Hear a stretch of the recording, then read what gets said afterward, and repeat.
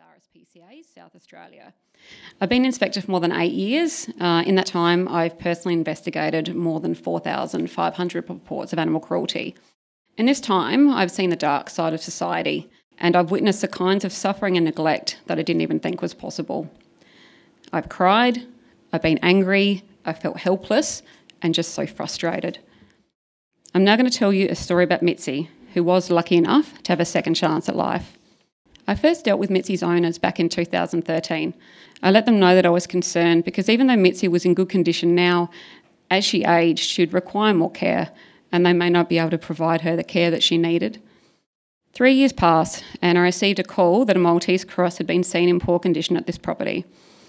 I attended with a heavy heart and found Mitzy. I'm not easily shocked, um, but her condition shocked me. Mitzy was so badly matted that she had prickles, feces, and even a chip packet embedded into her coat.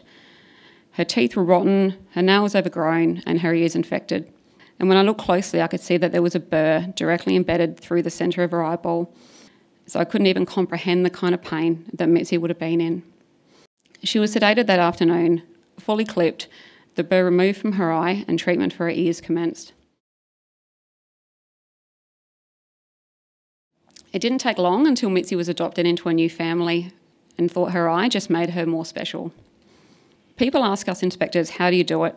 How do we cope with what we see and the calibre of people that we have to deal with? I just tell them it's dogs like Mitzy that keep us going.